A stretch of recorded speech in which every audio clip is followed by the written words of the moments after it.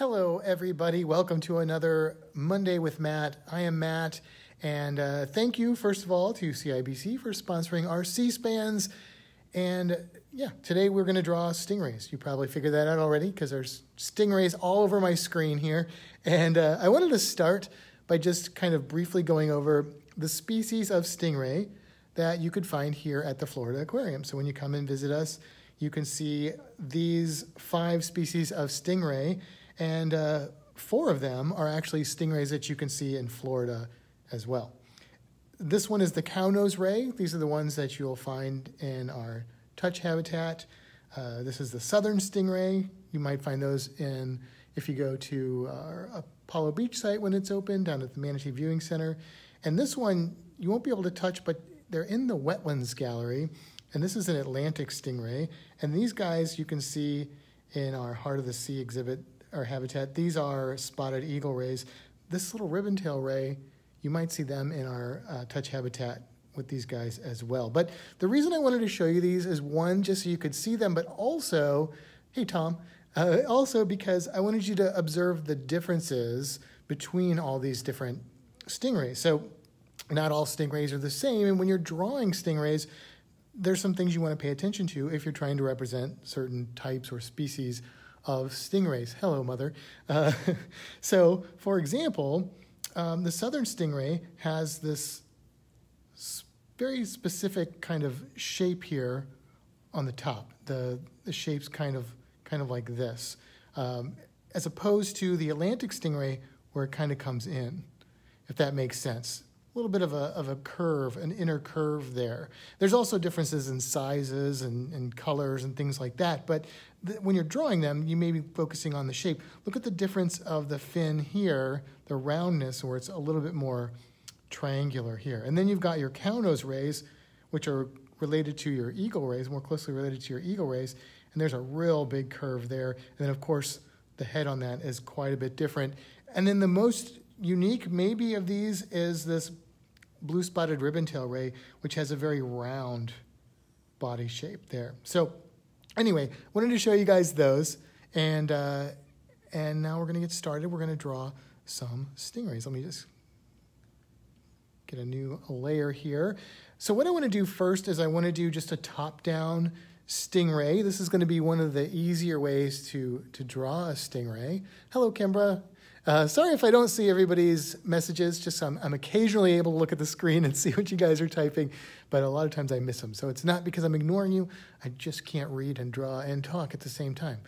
I can't really even hardly draw and talk. Anyway, all right. So here we go. So to to draw, let's say we're going to draw like a southern stingray. So I'm going to do basically kind of a really wide triangle here, like this, and uh, and then try and make these even. That can be the trickiest part when you're doing like a top-down one. Hello, Rachel and uh, Christina. And, um, and then we're going to come in with another sort of triangle, but I'm going to give it a little bit of a, of a curve there. And this one is a little bit shorter than up here. We're going to bring these around here. So there's our top of our stingray body, our, our fins on either side. And then if you look at stingrays, they're flat on the fins. They've got a little bit more thickness, usually right in the middle. So you might be able to represent that with some lines. Now, you, you probably would want to represent this with shading more likely, but you can kind of put some lines there to, to indicate that. And that's going to help you too when you start drawing other parts of your stingray. For example, the eyes kind of go right along there, like so. Okay. And then right behind the eyes, they've got some little openings that help them to circulate water over their gills, which are underneath. And that's important because if they didn't have these, then what would happen is uh, they'd have to keep swimming all the time to get that water going into their mouth and over their gills so they could get oxygen out of the water. But they don't have to do that because they've got these neat little devices. So on the back here, then we have the tail which tapers and gets smaller. I'm going to curve mine around. There we go. And then underneath this tail where it starts, we have some more fins here. Okay, so we're starting to look like a stingray, right? and then, um, and of course, it's a stingray. It needs a stinging barb. Yes, Rachel, they are called spiracles. Thank you. You believe in spiracle. I see. That's good. I like it. Anyway, um, these the barb on a stingray is different depending on the species. So let, let me show you what I'm talking about. I'm going to go back to our um, stingray species here. Turn this off for a second. So if you look, the barb on the cow nose ray is right here, right at the base of the tail, and they even have a little dorsal fin on the back. On our southern ray, it's down a little ways, starts right about in here. And then it's even further down on our Atlantic stingray, pretty close to that base of the tail on our spotted eagle ray, and it's really far down on our ribbon-tail ray. So these are more little differences if you're trying to represent specific types or species of stingray that you want to look at. So since this is kind of a southern stingray we're going with here, we're going to put our stinging barb right there, represent that with just a little triangle. And that's this is your basic stingray. And then if I wanted to change it you know, if I wanted to make an Atlantic stingray, I'd kind of do the same thing. But remember, I'm going to make this more round, like so. Have the tail come off here. Some of this is kind of similar. Our eyes and our spiracles. Maybe this needs to be a little bit rounder. And then this is further down. So you can see here's another stingray. If I wanted to do that um, spotted tail, blue spotted, spotted tail, blue spotted ribbon tail array. I'm combining my words. See, I'm telling you, drawing and talking, not, not compatible necessarily for me. Um, and now we're more like a, like a saucer shape thing. The tail length can vary too on stingrays. That's another thing that you want to look for when you're trying to draw specific types of stingrays. But these are, these are your basic stingray models, top down dorsal view of the stingray. Let's get a little bit more creative and fun though. Let's do like a side view of a stingray. And again, we'll kind of do maybe a, a southern stingray. So what I want to do is I'm going to do like my rough guidelines here. So I'm going to have this coming in kind of like a three quarter top down view. So I'm going to just very slightly lightly pencil in the body of the stingray here. And this is just a, a rough sketch. So I've got it kind of kind of rounded here. Here's the nose of our stingray here. And then we really want to represent this thicker part of the body.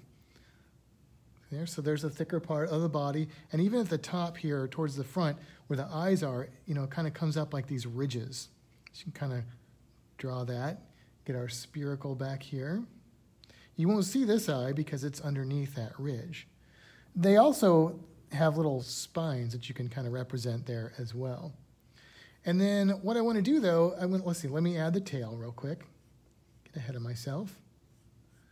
Give it a little curve. It's kind of going off the page. It's a little bit of a, of a fin you might be able to see under there.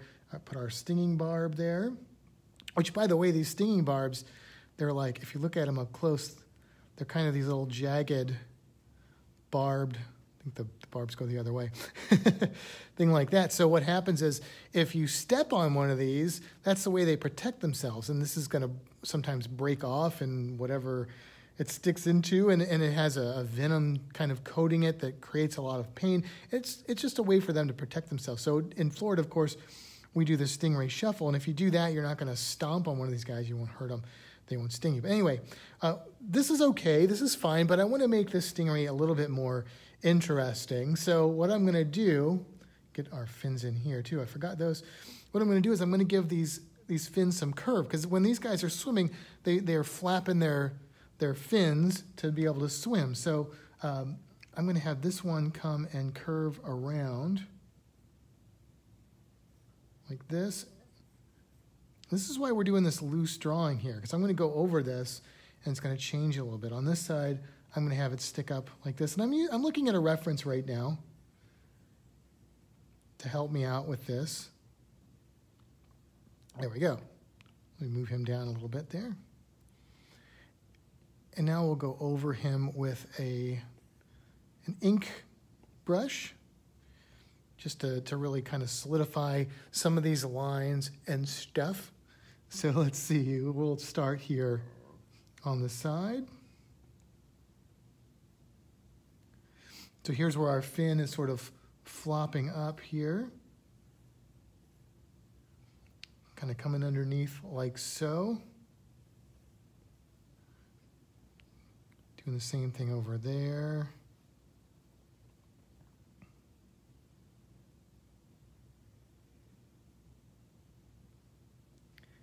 Put the eye on here, this little ridge.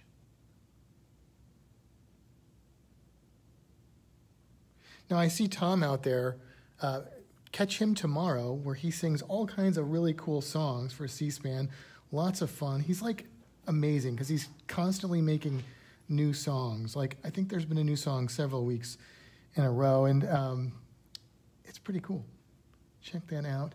We'll get our little stinging barb here. Maybe hint at this. And now let's see, I'm going to turn off my pencil layer underneath. And you can kind of see this outline of a stingray. We'll add a little bit of color here. Let's go, let's just give it a big brush. Now, stingrays are different colors, but a lot of stingrays do come in sort of a brown on top and a, a white or pale color underneath. And this species of stingray is no exception to that. So I'm going to pencil that or color this in real quick here. And you've heard me talk about this before, and it is something called counter shading, which helps these stingrays to blend in if you're looking at them from the top because they're dark and they blend in with the sand and the bottom underneath, but they also they also blend in if you are looking at them below, if they're if they happen to be swimming above you, which some stingrays will swim in the water column, some don't do it as often because of the sunlight coming through. Give his tail a little color here. Now, if you guys are drawing these at home, I would love to see your drawings. Of course, you can rewatch this and rewind it and pause it, rewind it. That's a callback, and and stuff. So and then post them here so we can see your drawings. All right. Now what I'm going to do next is I'm going to go to let's see. I've got I've got too many brushes here. Is what I've got. I've got like a little airbrush drawing here. So I'm going to I'm to add some. Um, color variation just to kind of give some highlights. It's a lot bigger. Kind of highlight the top here, maybe highlight this fin over here. And we'll also give, that's not very much darker.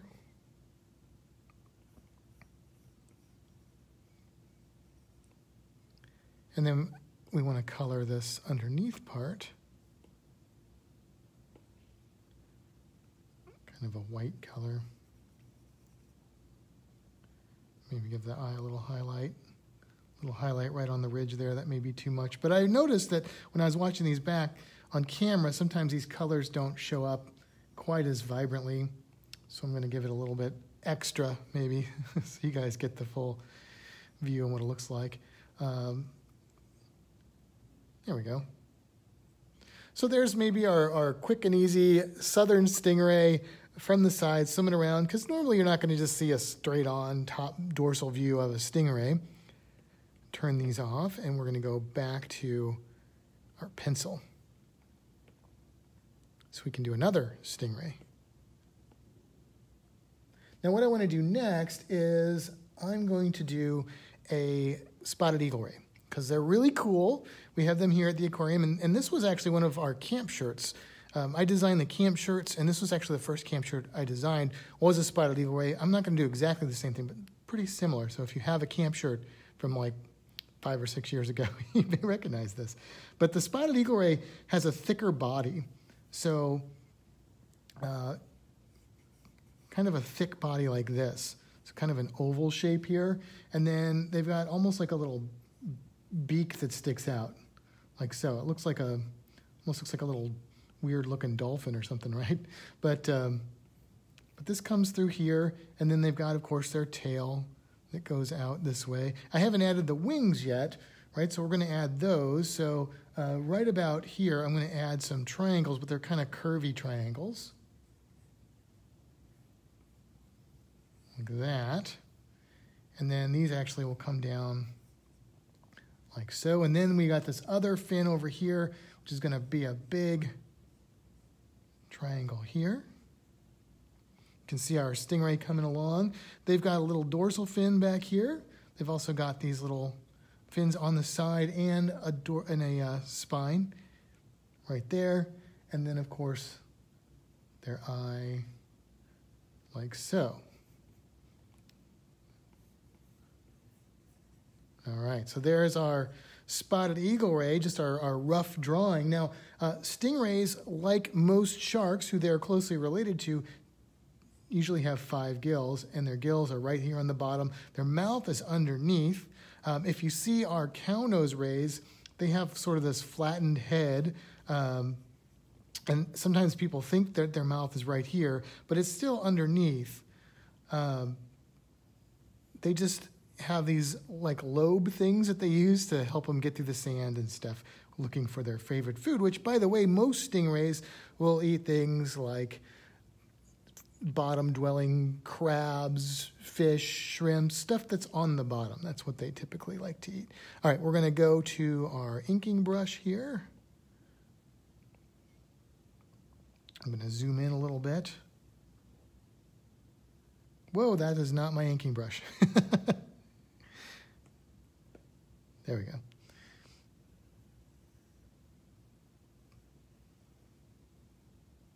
There we are. Now, here's one thing I haven't really talked about too much, and it's hard for me to do while I'm drawing on camera. But when you're drawing in on paper, or even when I'm not drawing on camera, and you want to get these nice smooth lines, one way to do that is to try and remember to draw from your shoulder, not from your wrist. So you see me a lot; I'm drawing from my wrist. But if I'm really drawing um, and not on camera, or especially on a bigger piece of paper or something like that, I'm going to try and draw from my shoulder. And what it does is it makes it easier to get like a smooth line. Where if you're drawing from your wrist, there's just more room for like wobble, drawing wobble. I don't know if that's a technical term or not. Little gills here.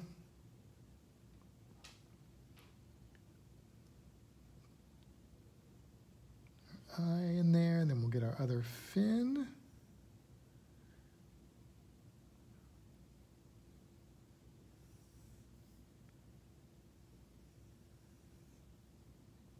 dorsal fin back here, and pelvic fins, and a little spine. Now, what I want to do next is I'm going to make our ray swim, see? and then I'm going to turn off our pencil lines, because what I want to do is I want to add some, some color to this, and of course, one of the things that makes spotted eagle rays spotted eagle rays is the fact that they have spots. So on the top of their body, they're kind of a dark brown, or they, they almost look, a lot of times they look like they're almost a, a blue or blue black because of the water, and I think the way the colors work in the water and get different things get filtered out. We're going to make this one a real dark brown. And I'm going to try and represent that counter shading. Let me just get this, whoops, don't want to go there. The underside of this fin, though, is going to be white. So we can fill that in there. The top of this one is going to be this dark color. There we go. Fin back here.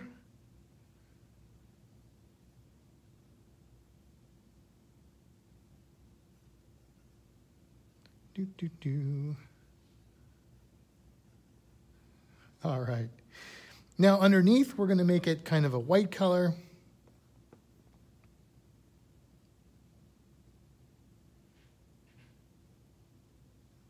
And whenever I draw color, whether it's on paper or whether it's digitally like this, uh, a lot of times I will fill larger spaces and then either work to get darker or lighter depending on the medium that I'm working with. If you're working with something like um, paint, a lot of times you can get you can work up to lighter, but if you're doing something like last night, I was making some marker drawings, and um, I had to I had to keep in mind where my light stuff was, and I had to work from light to dark. All right, now we're going to add the spots of the spotted eagle ray. And here's what I'm going to do, actually. Let me put these on another layer just so I can add some shading. And some of them are just spots like this, and some might be little rings. If you look at different spotted eagle rays, they will, they may have both, they may have just one. There's, you know, they look different. Give him a little highlight for his eye.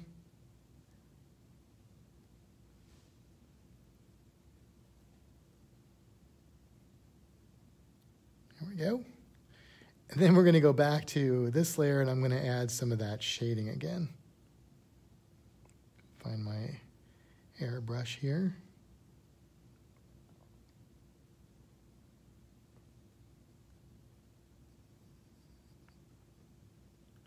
Make that a little smaller. Now, when I'm shading, I'm looking for, I'm looking at my reference. I've got a reference going here. I'm looking for where there's going to be a little bit more shadow. So on the underneath side, of my ray on the fin here. There's going to be more shadow. There's shadow underneath here on this stingray. And there's a little bit of, of shadow or probably coloration too on the edge of this fin. And a little bit more shading here. This, this fin's kind of bending around a little bit.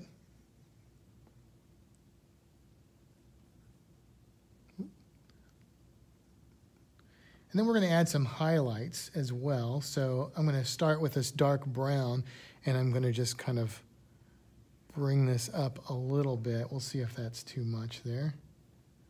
Looks a little too red. Desaturate that a little bit. And we'll add some highlights so we can kind of bring back some of the features of this ray.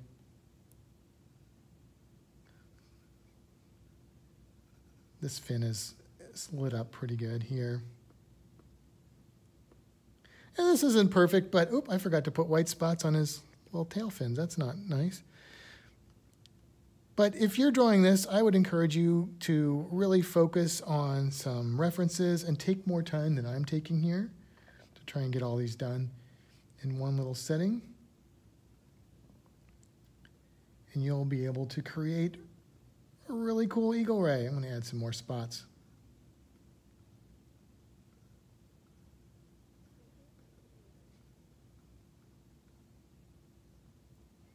There we go, our spotted eagle ray. All right, I'm going to turn these off here and uh, we'll see what time we have. Maybe time for another one.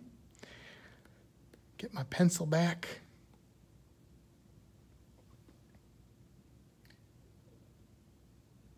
I think what I want to do is I want to do one of these um, blue spotted ribbon tail rays because they're really pretty. So I'm going to kind of do a similar, similar to the southern stingray that we did. This is kind of this is this weird shape here is kind of the body form of this animal. Because I'm going to make the, the fins kind of curve up again again, I'm looking at a reference so I can kind of see how this looks. I'm not following it 100%, but um, somewhat. Just to give me an idea of what I'm looking at. So here's the other fin, and then we've got our body that lifts up here.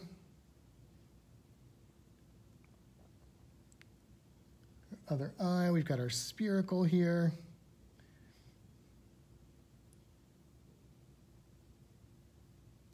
And then our tail.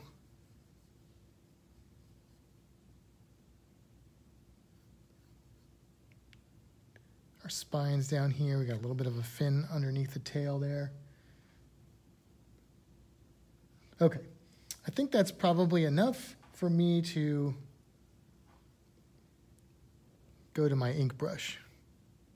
The more you draw, oops, I just turned off that layer. The more you draw, the better you'll be at just like being able to go off of just some a loose sketch like this.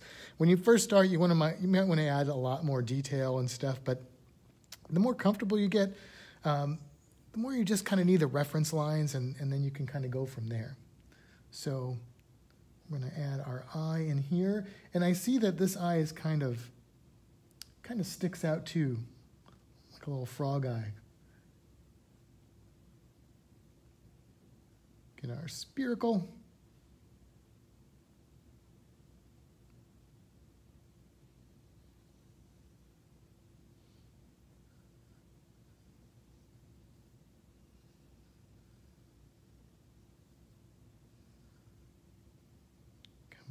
this way.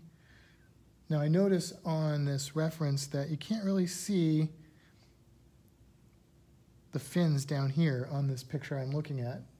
Maybe one, there may be one of them. It's hard to tell. This may be one here actually hanging out underneath it.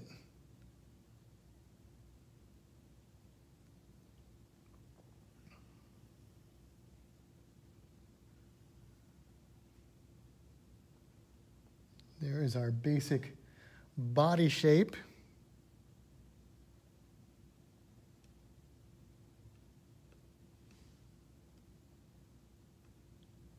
This one, I think I'm going to color this one with like pencil. Now, this ray is kind of a tan color. So I'm going to find a tan color here. Got a little bit of a, of a greenish hue, but I think that's because it's underwater. But, you know, if I'm going to see it, it's going to be underwater, so I might as well make it look like it, it would look. Give this a really big pencil just so I can get through it. They're such beautiful stingrays. If you visit the aquarium and you get to the front, we have a statue of a manta ray, which is an amazing animal. And these big pelagic manta rays can get over 20 foot they call it wingspans. I think it should be fin spans, right? We shouldn't call them wings, should we? If we're going to call sea stars sea stars and not starfish, shouldn't we call? I don't know. Tom, what do you think? He's got a song about all that stuff. This in here. Underneath is still this kind of light pale color, like that. Uh, but now what I'm going to do is I'm going to add some of my shading before I put these electric blue spots on there. So I'm going to maybe add some, some dark shading elements to it. Try and figure out. Now, again, this is not a flat surface here, so I want to try and represent that. If I can represent that more through shading, it's going to look probably better than if I try and represent it through lines. Depends though.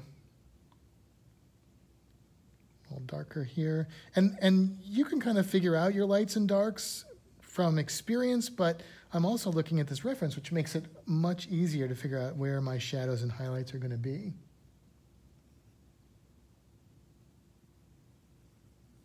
And we'll get our highlights in. Okay.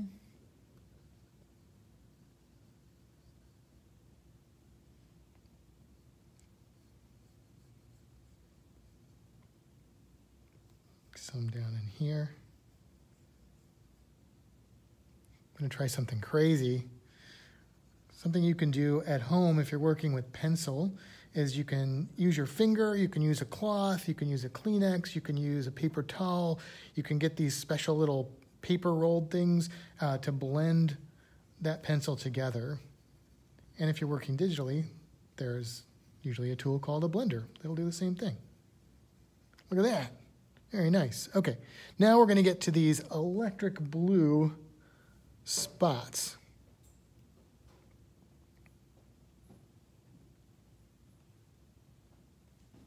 So there are blue spots on here, and um, let's see, make these a little darker. When I'm drawing these spots, one of the things that I want to look at is like, for example, you want to make sure and put a spot that's kind of hidden behind there. If all your spots are away from the edges, it may not look right or real. Some spots on there. I know we're running out of time here, so uh, I'm just going to add some more. And again, if you're making these drawings, please submit them here so we can so we can check them out. A little bit of blue up here as well.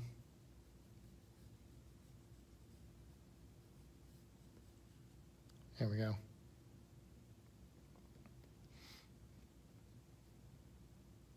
All right, there we go. Our blue spotted ribbon tail array here at the Florida Aquarium. Listen, I want to thank you guys for watching today. Thank you again to CIBC for making these SEA-SPANs possible. Don't forget to tune in tomorrow to listen to Tom banging out some awesome tunes. Until next time, though, guys, I will see you later.